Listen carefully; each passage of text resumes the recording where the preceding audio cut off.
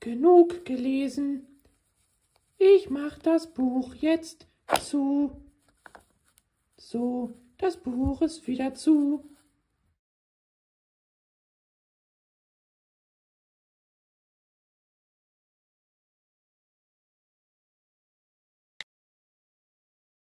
zu